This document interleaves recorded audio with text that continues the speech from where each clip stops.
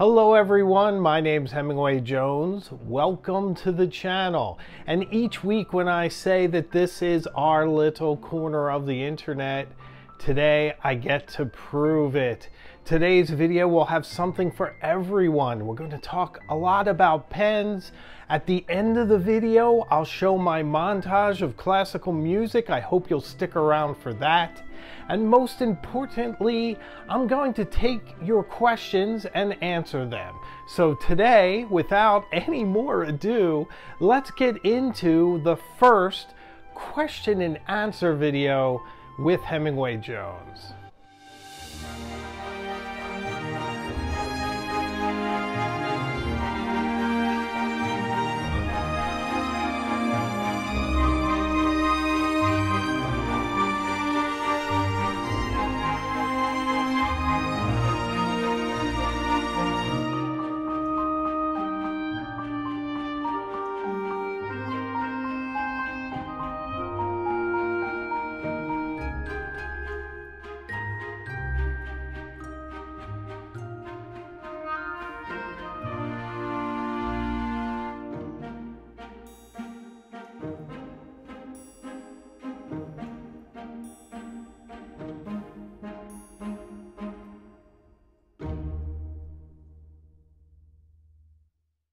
Before I start today's video, let's do a quick pen check.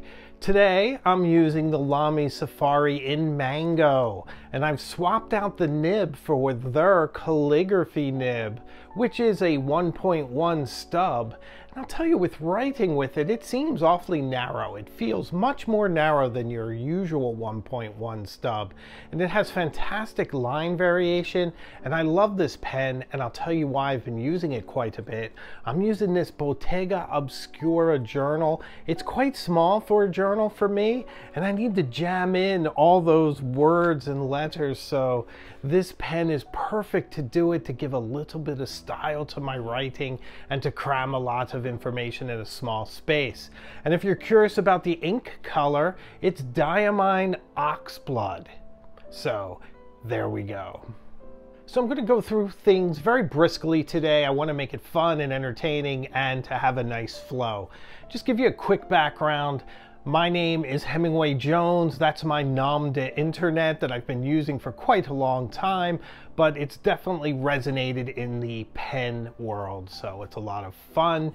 I've been into fountain pens since the early 1990s. I've experimented with a lot of different pens, and kind of my style is I like to tell you guys what my personal feelings are. I don't really get into the particulars too often. I figure if you really want to know how many millimeters a pen is or how many grams it weighs, then you can simply go to the website and look that kind of specific information up. I think what you're really looking for is, is the pen good? Can you express yourself with it? What is it like to write with it? What kind of associations does the pen have? What does the pen do for you? And I think as you get to know me and my reviews and you get to know my aesthetic, then you'll know where you fit within it. And maybe if I like something, you'll know that you won't, or vice versa, you'll definitely know that you like it as well. So that's the idea for the channel. I'm here to talk about pens, to share my knowledge with you, to learn from you and share that knowledge and keep it rolling so that we all have a great experience that's very much community based, very accepting of different views, and just a great place to keep you inspired. Because to me, the best thing about pens is using them. And I think the best thing to use them for is journaling. And you'll hear me talk about this quite a bit, but journaling is at the heart of everything I do. I journal every day for at least 20 minutes. You can see from my B-rolls that I'll journal virtually anywhere. And it's just a great way to get your thoughts down and to work through your anxieties, to plan out your projects, and just to use it as a tool to become a better person. And I'll say this to you before I get into the questions. If you're hesitant about starting journaling because you think that those daily banal things that you do are just not worthy of writing them down, I urge you, write them down. Those are the fence posts, the mile markers on the road of your life. Those are the points by which your memories are anchored. Start first with the banal, with the movie you watched that day, and then move on from there to your projects, your anxieties, your goals, your dreams, and your ideas. Believe me, it will resonate that much more. So a few days back, I asked you to submit your questions both on my Instagram at Hemingway underscore Jones at Instagram and here in the community section on YouTube. And I got some excellent responses. So let's jump into some of these Q&A questions. I guess that's redundant. Let's jump into some of these questions. Our first question comes from Dukan Huang. I hope I pronounced that okay. The question is between the TWSBI Diamond 580 and the TWSBI Eco, which pen do I prefer? Now, obviously you've seen that I own both, and I do own two Ecos, as, as you also pointed out in your question. So this is how it breaks down. I got the 580 first, and that started my love affair with TWSBI. And I think the Diamond 580 is an exquisite pen. I love it. It's fantastic. It's very high quality. It is a better pen than the Eco. Now let's set that aside for a second. The actual writing experience between the Eco and the Diamond 580 is nearly identical. The Diamond 580 might have a slightly larger, a little better nib, but they write virtually the same. So in my opinion, I go with the Eco all day long because you can buy two of those for the same price as the Diamond 580. And also, I just love the stub nib on the Eco. So for me, I go to the Eco first. I just think it's an extraordinary value and just a great pen. Randy asks, between a nib with feedback and a nib that's smooth, which one do I prefer? And Randy would also like to see more content on Seiko. And I'll put that out to you guys. When I first started this channel, I was doing a bit more things beside fountain pens, and I decided to focus exclusively on fountain pens, inks, journals, and journaling. However, I do love watches. I like men's fashions. I think occasionally I might rotate something in, but can you let me know in the comments what you think? Are you very much narrowly focused on writing and fountain pens, or would an occasional watch video be fun as well? Let me know. So the reason that I don't do more, Randy, is that they just didn't do very well. And I think in YouTube, it's very much whatever niche you happen to be in. And I think mine is fountain pens, inks, journals, and journaling. So I've really kept it there. Occasionally on my TikTok, you'll see some watch content. And I really haven't done it on Instagram, but perhaps I will. Now, as for whether I like feedback or if I like smoothness, I'd say historically, and I think judging from a lot of my reviews, you'll find that smoothness is probably my primary concern. I love watching a lot of ink being troweled across the page. For me, that is really the distinction between a fountain pen and other types of pens. It's that incredible smoothness and the visual glistening ink and the edge of your nib just driving those variated lines in different ways to form extraordinary words. That's what I strive for. However, occasionally I do love even scratchy nibs. Sometimes I like the sound of it. I love rough interesting paper and hearing a scratchy nib just drive a thin line across it. Occasionally, I really long for that. But if you're looking at me on average, it's definitely smoothness. Our next question is from Sathish Rao. Hopefully I said that okay. And he asks, what is my profession? So I am in financial services. He also asks whether I have a monthly budget on pens, and I really don't. Remember, I review quite a few pens over on TikTok, so I get a lot of pens from those companies that sponsor me, so that helps quite a bit. And I'm also older, so I have some resources. I'm able to buy pretty much any pen that I want. But I do try to rein things in because I really don't like buying too many things. One of the things I love about fountain pens is that you could have one pen like the TWSBI Eco and just use it for the rest of your life. You could just keep refilling it. And that's a great thing about them, but it gets a little bit defeated when we each own like a few hundred of them. It's hard to argue that it's this renewable resource, but as an idea it is. And then he also asks, what's the maximum amount that I like to spend on a pen?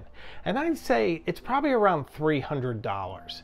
I think that pens above that tend to have to be really special to get my attention because everything at 300 and below is so extraordinary.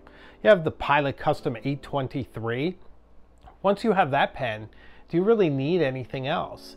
You can get used Montblanc for under that that are extraordinary. So you have a lot of range between you know, 0 and 300. So once you go over, I think you get very much diminished returns, although there are some spectacular pens there too, like the Egyptomania, which you guys know I'm crazy about, and the Montblanc 149, which is amazing and everyone should own it.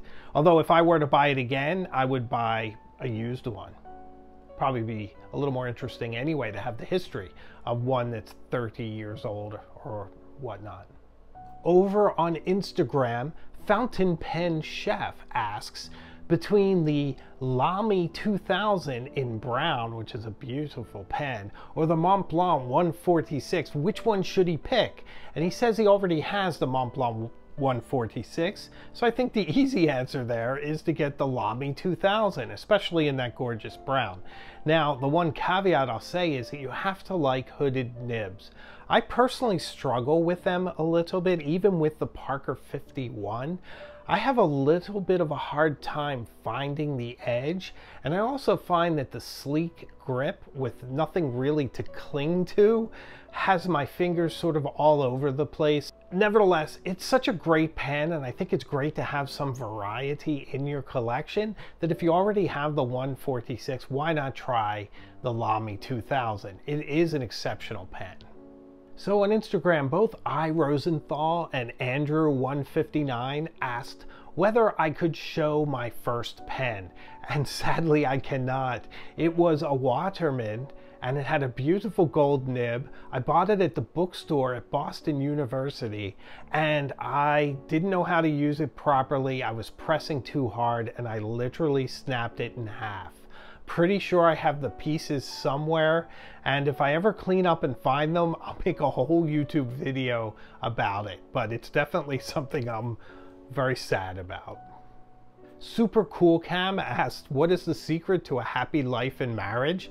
And I'm happy to answer these kind of questions. In my opinion, one of the most important things is to live beneath your means. I think many of us here in America and in the Western world, we're sort of seeking these ideals of excess, and a lot of that is just sort of ridiculous. You don't need a giant house, you don't need a new car. I mean, if you love those things, go after them. But uh, for me, I'd rather be liquid, have assets, have passive income sources, and feel secure, and to share my life with my family.